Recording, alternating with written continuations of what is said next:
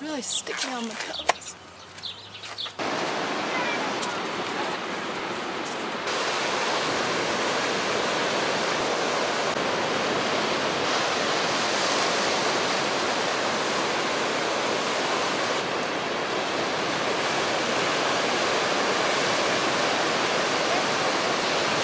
And like,